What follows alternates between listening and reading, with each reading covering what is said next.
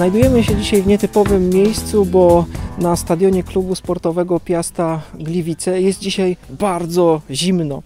Y, przypomina mi się historia w tym momencie bardzo gorącego piłkarza, bo piłkarza Cristiano Ronaldo, chyba wszyscy znają jego pseudonim CR7, bardzo sławna postać w świecie futbolu. E, otóż e, jakiś czas temu przeprowadzono pewien eksperyment. Otóż rzeczonego Cristiano e, przebrano, ucharakteryzowano, doklejono mu brody, brodę, wąsy, przebrano go w zwykłe ciuchy i zaprowadzono na rynek jednego z miast.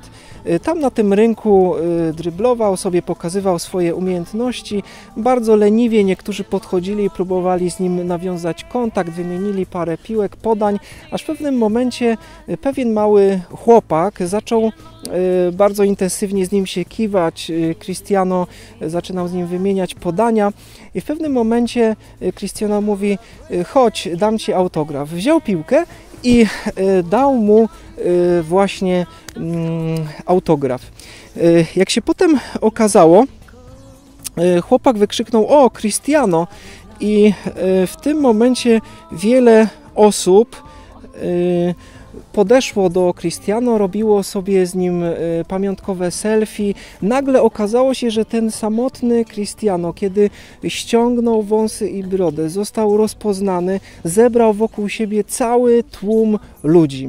Dlaczego mówię tą historię? Dlatego, że e, dzisiaj chcemy zastanowić się nad tekstem, który właśnie nawiązuje do pewnej sytuacji, e, która ma bardzo wiele wspólnego, chociażby nawet z takim sławnym zawodnikiem jak Cristiano Ronaldo, a wbrew pozorom z każdym z nas. Wysiłek potrzebny do zwycięstwa.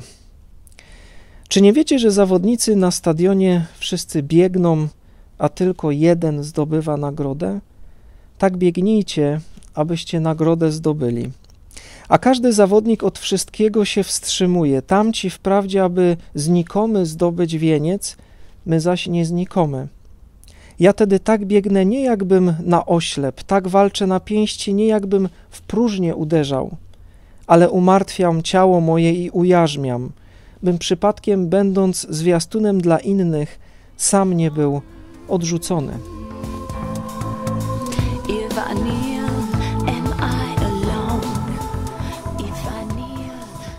Z perspektywy widza bardzo jest nam łatwo komentować i obserwować pewne wydarzenia. Często siedzimy na takim stadionie, gryziemy słonecznik, gryziemy paznokcie i zagralibyśmy lepiej, zrobilibyśmy to zupełnie inaczej.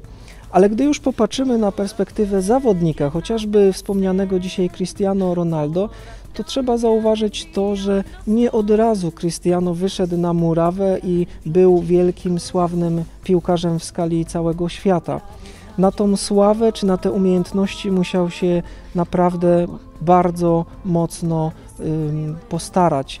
Ym, miliony godzin y, spędzonych na treningach, wiadra wylanego potu, gryzienie murawy, zdobywanie każdego metra boiska, mnóstwo wyrzeczeń związanych także poza boiskiem, żeby przygotować się do danego meczu.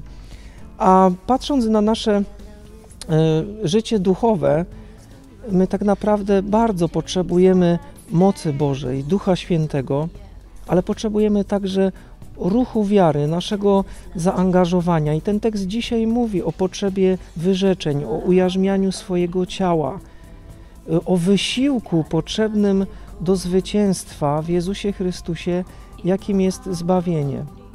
Od nas, ode mnie i od Ciebie zależy, czy zdobędziemy wieniec. I to nie ten znikomy, o który walczą y, gwiazdy tego świata i który czasem my żałośnie walczymy, ale ten wieniec, który jest nam przyobiecany w niebie, Bożą nagrodę, zbawienie. My future will